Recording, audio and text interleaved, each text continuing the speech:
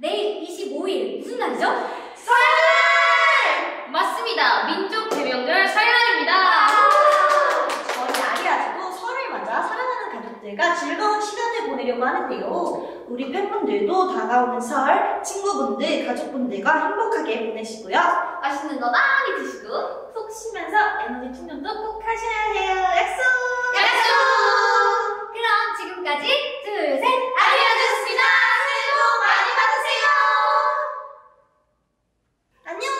Нет.